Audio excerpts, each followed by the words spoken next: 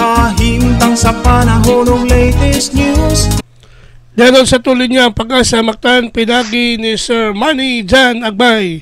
Sir Manny, may butag. Yes, may buntag sa Sir Ariel og simuhang mga sugintig paminaw. Mao kani ang pinakalaing nakat sa tong panahon sa sunod nga 24 oras. Kani ang alas 3 sa kadlaw ng atong gimonitor nga Doppler area kay nasigpatan kini nga naa sa 220 kilometro amihan ang silangan sa Pari Cagayan.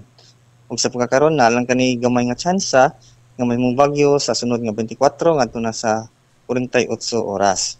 Samtang kining ang southwest monsoon o kining habagat ang mo'y nagpadayon og apekto dinhi sa may western section sa Luzon. Samtang dinhi sa Metro Cebu ug lakip na ang probinsya sa Subo ug mga nabiling bahin sa Visayas kay makasinati tag nagsang mga panganuron ngadto sa dag-umon nga mga kalangitan nga naay mga isolated na mga pag-ulan ug mga panugdog kilat nga labi na sa hapon ug gabi ug gumikan gyapon kini sa mga localized thunderstorms. Samtang hinay ngadto sa kasarangan nga hangin na nagagikan sa habagatan ngadto sa bagadang kasadpan ang mapasalabi sa tibok Visayas. Di nang balod sa atong kadagatan pabiling malinawon ngadto na sa kasarangan ng pagbalod. Ang taob sa tong dagat dinhi sa Sugbo ganihang alas 3:55 sa buntag ug munas alas 11 karong buntag. Temperatura karong adlaw 26 ngadto na sa 32 degrees centigrado.